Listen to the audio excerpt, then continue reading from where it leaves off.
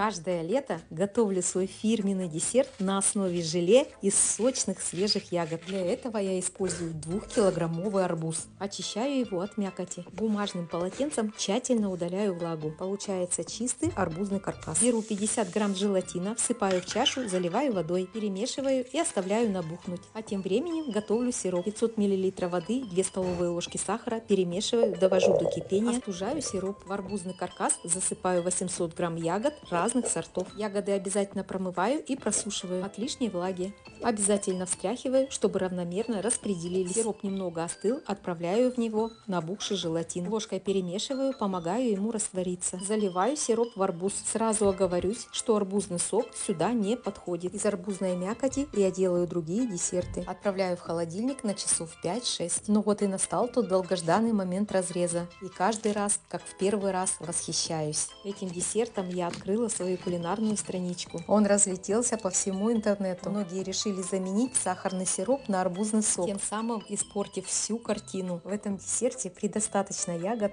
чтобы использовать еще и арбузный сок. Но вы только посмотрите на эту яркую картину из ягод. Он такой вкусный и ни с чем не сравнимый. Обязательно приготовьте, побалуйте себя и своих близких в это жаркое лето.